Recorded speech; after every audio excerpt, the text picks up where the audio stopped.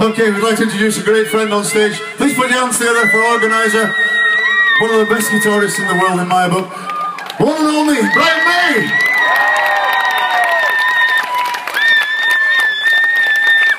Just like to say a few words to ladies and gentlemen. This doesn't happen every day. These guys are heroes of mine, and please put your hands together one more time. Ladies and gentlemen, for the Troggs!